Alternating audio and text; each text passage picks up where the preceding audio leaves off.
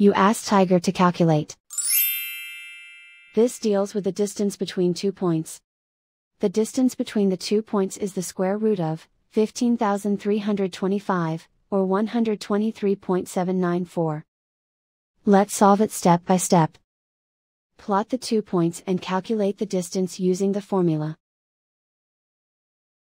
The coordinates of point 1 are, x1 equals 30 and y1 equals negative 24. The coordinates of point 2 are, x2 equals 9 and y2 equals 98.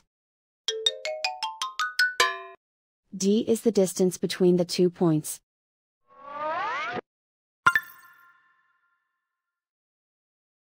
First, take the square root of both sides of the Pythagorean theorem.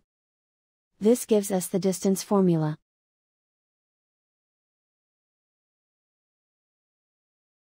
Plug the coordinates of the points into the formula.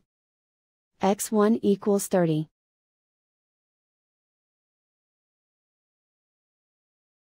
x2 equals 9.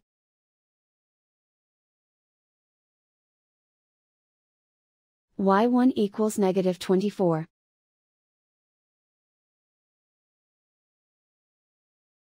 y2 equals 98.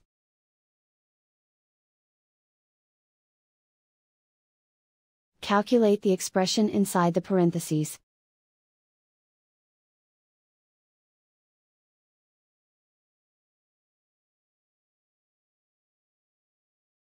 Simplify numbers raised to exponents.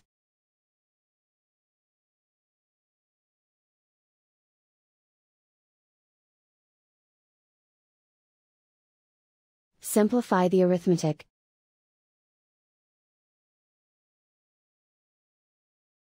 And so the distance between the two points is the square root of 15,325, or 123.794.